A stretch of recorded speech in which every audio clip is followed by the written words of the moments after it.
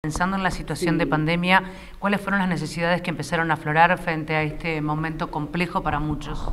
Y en realidad no, nos pasó eh, esto el afrontar el tema lo alimenticio, el que mucha gente independiente que quedó sin trabajo y uno sabe que el trabajo da dignidad a la persona y cuesta pedir más la gente que nunca estuvo en esa situación.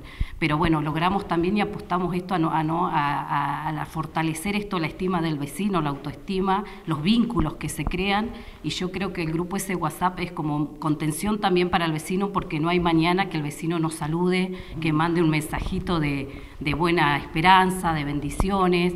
Eh, eso la verdad que ayuda un montón y pudimos eh, ayudar a los vecinos. Se hizo una entrega eh, la semana pasada, si no mal recuerdo, de 20 bolsones, que bueno, eso el municipio provee en la, parte de acción social con eso. Y nosotros también agradecer otra vez al vecino porque el refuerzo, por ahí lo que estaría faltando en esos bolsones, logramos con la ayuda de los vecinos, que tenemos vecinos que por ahí donan dinero o vecinos que donan eh, mercadería, porque hicimos algo interno en cada negocio. Eh, con la autorización de los dueños de los negocios, pusimos cajones también solidarios y el vecino ha colaborado un montón, entonces como que eso vuelve al barrio. Logramos como un ida y vuelta entre todos y nos ayudamos entre todos.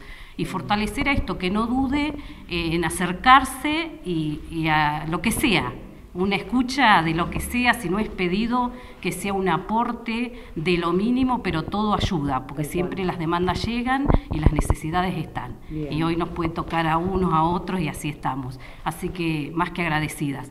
Y mm, eh, también esto de, los comercios, también invitarlos a los comercios que se comuniquen con alguno de, nosotros de la comisión para ver qué más podemos hacer con esto. Eh, yo sé que, que somos solidarios. Eh, también queremos eh, por ahí el tema de, resaltar esto como un servicio esencial en el barrio, que es el transporte de colectivos, que acá en el barrio se usa mucho. Entonces, bueno, eh, apostamos a eso también, ¿no? que pronto pueda, podamos ver el colectivo funcionando acá en el barrio.